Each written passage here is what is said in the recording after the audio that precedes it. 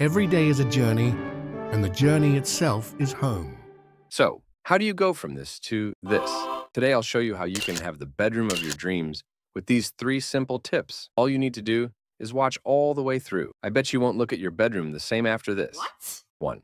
Layout. If you fail to plan, then plan to fail. No matter the size or shape of your space, always plan it out. It's important to know where things go. So before you make any other decisions, Mhm. You need to decide what goes there, there, there, and there. 2. Natural lighting. Let there be light. Utilize windows and light fixtures to allow for as much ambient light as possible to fill the room. It helps if you have a view. But don't worry, blackout curtains help block out light for the late sleepers. 3. Use warm, appealing colors. Style is an expression of oneself. While neutral colors do promote better sleep, don't be afraid to mix it up. Throw in some contrast. It's all preference, and it's your space. Thanks for watching.